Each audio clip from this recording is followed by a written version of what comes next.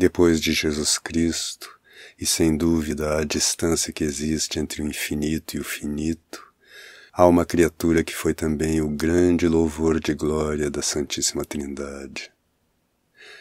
Ela correspondeu plenamente à eleição divina de que falou o apóstolo. Foi sempre pura, imaculada, irrepreensível aos olhos do Deus três vezes santo. Sua alma é tão simples, seus movimentos tão profundos, que ninguém os pode surpreender. Ela parece reproduzir na terra a vida do ser divino, do ser simples é tão transparente, tão luminosa, que se poderia confundi-la com a própria luz. Entretanto, não é senão o espelho do sol de justiça, speculum justitiae. Maria conservava estas coisas no coração.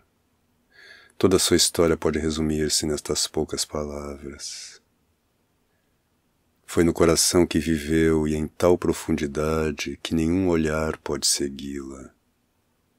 Quando leio no Evangelho que a Santíssima Virgem percorreu solícita as montanhas da Judéia para cumprir o dever de caridade junto de sua prima Isabel, parece-me vê-la passar tão bela, tão calma, tão majestosa, tão recolhida no íntimo com o Verbo de Deus, com ele sua oração foi sempre Etche, eis-me aqui. Quem? A escrava do Senhor, a última das criaturas, ela, sua mãe. Quão verdadeira foi em sua humildade, é que foi sempre esquecida, ignorada, libertada de si própria. Por isso podia cantar o Onipotente realizou em mim grandes coisas. De hora em diante, todas as gerações me proclamarão bem-aventurada.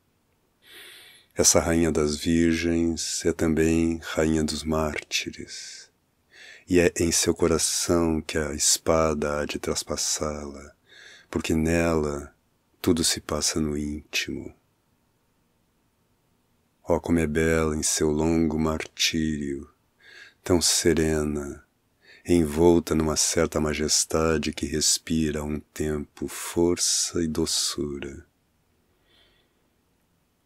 É que aprendera do Verbo como devem sofrer aqueles que o Pai escolheu como vítimas, aqueles que quis associar à grande obra de redenção, aqueles que conheceu e predestinou a serem conformes o seu Cristo, o crucificado por amor.